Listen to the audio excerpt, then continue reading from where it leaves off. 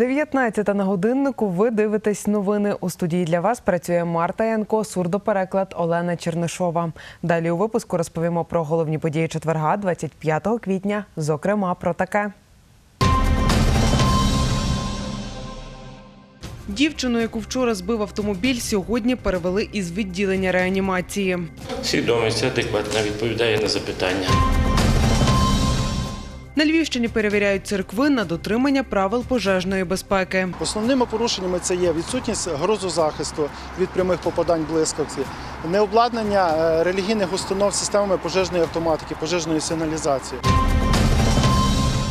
10 коробок із пасками та великодніми стравами львів'яни відправили бійцям на схід. Це найменше, що я можу зробити е, для них, тому що все-таки вони набагато більше для нас роблять, ніж просто печуть паски.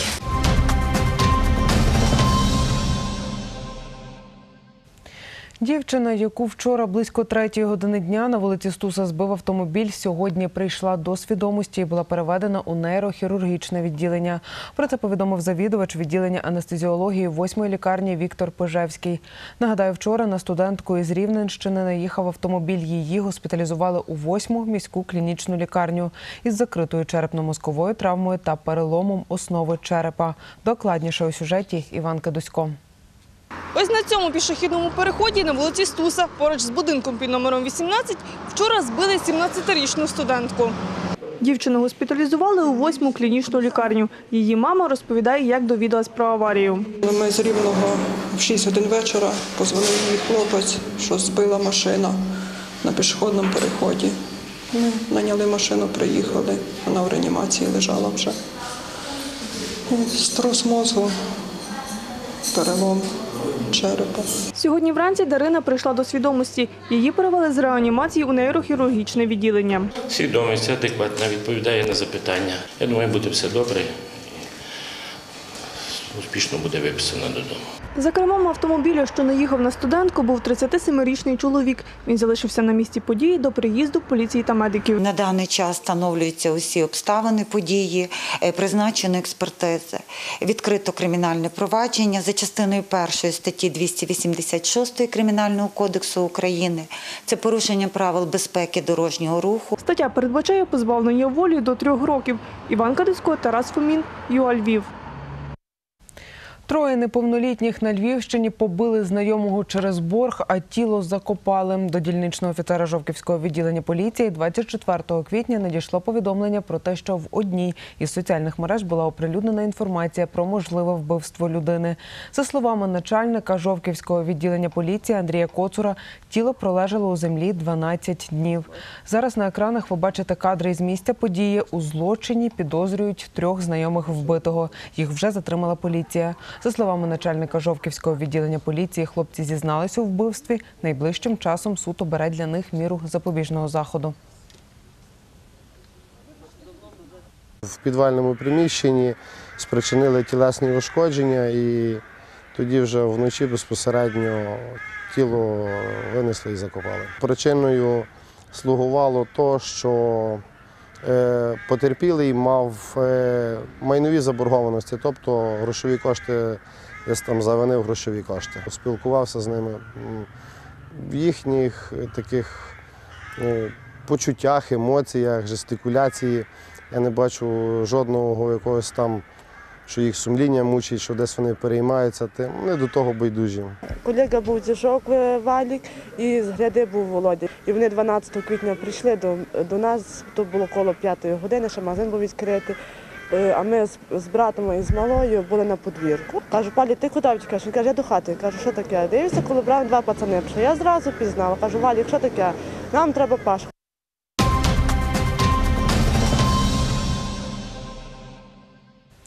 278 за. Верховна Рада ухвалила законопроект про забезпечення функціонування української мови як державної. Проти були фракція, опозиційний блок і група відродження. За голосуванням біля парламенту стежили люди, які прийшли підтримати законопроект. Ініціаторами цього законопроекту є 70 76 народних депутатів, серед них і львів'яни. Ми справді знаходимося в історичному періоді. Немає держави, яка би будувалася, де би не було української мови. Немає держави, яка була би успішною, не прийнявши закон про мову. Поляки теж спілкувалися російською, німецькою в імперіях, сьогодні говорять польською. Балтійські країни відновили свої мови, успішно процвітають. Затвердження державної мови це шлях до щасливого життя українців. Мовний закон, який пропонують проголосувати сьогодні, розколює Україну, а не об'єднує її. Він закладає міну сповільненої дії під і без того нестабільне українське суспільство. Більш того, цей закон може ще більше поглибити прірву між різними частинами України. 278 за. Рішення прийняте. Вітаю Україну! Вітаю всіх українців! І одразу після ухвалення закону у Верховній Раді зареєстрували дві постанови про скасування голосування. Автори постанов нардепи від опозиційного блоку Олександр Вілкул, Вадим Новинський, Юрій Бойко та Нестор Шуфрич. Постанови можуть дещо затримати підписання документа. Про це новинам розповів один із авторів проекту Микола Княжицький. Документи має розглянути регламентний комітет, а потім депутати у залі. Якщо їх підтримують, мовний закон буде скасовано. Що ж передбачає ухвалений закон про мову? Дивіться далі. Документ передбачає, зокрема, вільне володіння українською мовою для президента, депутатів, суддів та державних службовців. Вона є обов'язковою в судах, війську, органах влади. Чиновників, які на роботі не говорять державною мовою, штрафуватимуть. Документ також регулює мову засобів масової інформації, зокрема на загальнонаціональних телеканалах українською має бути не менше ніж 90% програм. Державною мовою повинні виходити не менше від половини газет, журналів та книжок. Дошкільна, середня, вища, а також позашкільна освіта, яку фінансує держава, повністю переходить на українську. Діти з національних меншин матимуть право на навчання рідною мовою, але тільки в початкових класах і в садочках. Для захисту української буде запроваджено посаду омбудсмена. Цей закон не поширюється на приватне спілкування та релігійні обряди. Нагадаю, рік тому попередній закон про мову авторів Ківалова Колісніченка, ухвалений за часів Януковича, Конституційний суд визнав таким, що не відповідає нормам основного закону.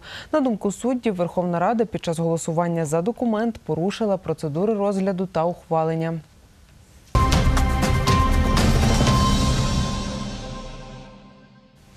Правила дотримання техніки безпеки рятувальники сьогодні перевірили у храмі блаженних мучеників, що на вулиці Стрийській. Загалом перед Великоднем перевірили більше двох тисяч церков на Львівщині. Майже 800 із них є пам'ятками архітектури. У п'яти сотнях церков виявили порушення. Більше розповість наша кореспондентка Ліля Гончарук. Цю дерев'яну церкву побудували 10 років тому. За цей період тут здійснили близько 20 перевірок на техніку безпеки. Андрій Давида паламар у цій церкві. Щоб не допустити пожежі, після кожної служби чоловік перевіряє, чи тут вимкнуто світло і працює сигналізація. Погасити свічки, ну, вугілля винести на двір, тому що вугілля є кадило. І тут ми даємо сюди вугілля, тут його зараз немає. І коли, коли богослужіння закінчується, ми його просто гасимо і виносимо ну, на двір на, на каміння. І якщо дитина, наприклад, залишила свічку, вона горить е, тут, то тут є азбест, він не дає прогоріти.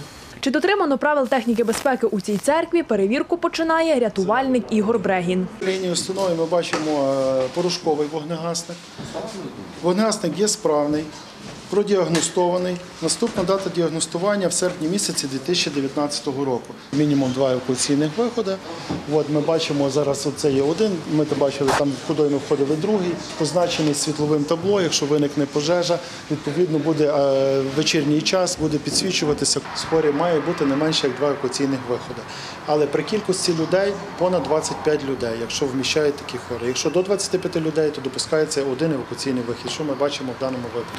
У цій церкві є пожежна сигналізація, захист від грози. Працівники церкви знають правила техніки безпеки. Ігор Брегін після здійсненої перевірки розповідає, що мають тут виправити. Одне єдине тут питання: значить, в дерев'яних релігійних установах мають бути загальні е, рубильники відключення світла, живлення електромережі на окремо стоячих опорах. В даному випадку це тут в приміщенні. Попередні роки у цій церкві вже виправляли порушення, які побачили рятувальники. переробляли, наприклад, систему громовідводу. була оброблена рідиною, скажімо, котра там антизаймиста. Час від часу е, пере, пере, покривається ґрунт е, верхній, скажімо, е, цієї, ці, ці, цього храму. За місяць рятувальники перевірили 2057 церков. Порушення виявили у 485.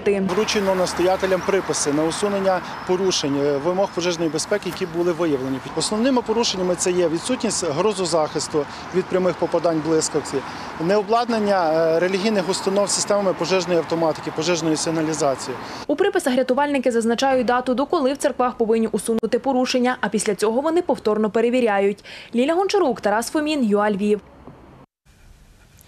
У Львові сьогодні зафарбовували рекламу наркотиків. До акції Стоп наркотик долучилися львів'яни, комунальники та патрульні. Працювали у Франківському та залізничному районах. Там зафарбовували надписи на фасадах будинків.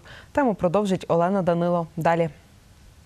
Збираються люди біля кінцевої зупинки трамваю номер 3 у Франківському районі.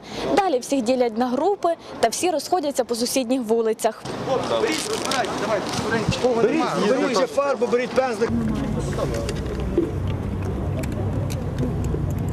До акції сьогодні долучилося понад 50 чоловік. Сьогодні я надію, що замалюється на Франківському районі міста Львова майже всі е, нарконадписи, ну які вже ж помітять. Є в нас голови ЛКП, е, які володіють. е, Якраз вони два тижні займалися підготовкою е, до цієї акції. Комунальні підприємства зафарбовують всі написи, які є в невстановлених місцях, чи на фасадах, чи на дорожніх знаках, чи на інших елементах благоустрою. Сьогодні акцентуємося на ті, що пов'язані з незаконною рекламою наркотиків. Фарби, які б е, максимально по кольору і складу співпадали з тими, якими фасади є пофарбовані.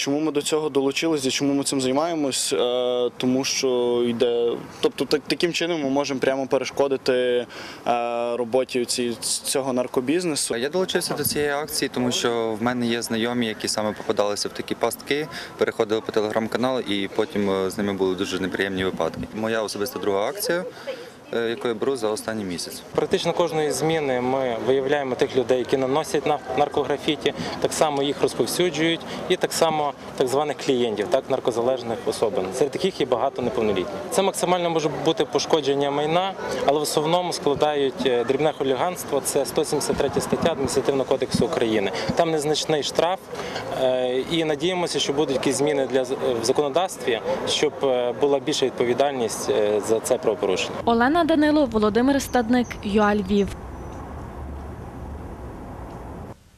Десять коробок із пасками та великодніми стравами відправили сьогодні волонтери для бійців на схід України. Збирали паски волонтери громадської організації «Хендмейд по-львівськи» для армії руками волонтерів. За словами волонтерки Олександри Мирош, паски вони збирали впродовж 24-25 квітня. Такі акції до Великодня вони проводять п'ятий рік поспіль. Більше дивіться у сюжеті нашої кореспондентки Ірини Ферен. Це вони всі пакуються коробки. е, Герметично, так, щоб нічого ніде не е, тарабанило, не товклося, щоб вони більш-менш були однакові по вмісту. Ну, Я привезла пасочки, які будуть відправляти солдатам е, на схід. Ну, я вважаю, що це найменше, що я можу зробити для них, тому що все-таки вони набагато більше для нас роблять, ніж просто печуть паски. І тому це як те, що повинен кожен зробити. Юлія Джала робила паски разом із своїми доньками. Вісім з половиною найстарші, і потім ще є Даринка, який шість, то вони мені допомагають. Все з- вимішують, викладають, заглядають, чи ще не спеклося, нюхають, перевіряють. Так що все разом ми робимо. До акції долучилися діти дошкільного закладу номер 180. Працівниця садочку Руслана Гаєвська принесла паски, які передали діти. Всі діточки, не тільки старші дошкільнята, а всі з молодшої несуть ту малесеньку пасочку для воїна, і вони розуміють, для кого несуть і чому. Коли задала запитання, навіщо ми це робимо, вони кажуть, щоб воїни відчули тепло. Смак домашнього тепла не замінить там в зоні проведення е, операції е, антитерористичної, нічого в цьому світі. За словами Олександри Мирош, Паски до Великодня будуть на сході. Ірина Ферен, Анатолій Киричук, ЮА. Більше сотні тенісистів змагаються у Львові на Кубку області із тенісу. Турнір відбувається на кортах, що на вулиці Янева. Сьогодні там провели фінали серед юнаків та дівчат. Докладніше далі у сюжеті нашого кореспондента Яреми Чуйка.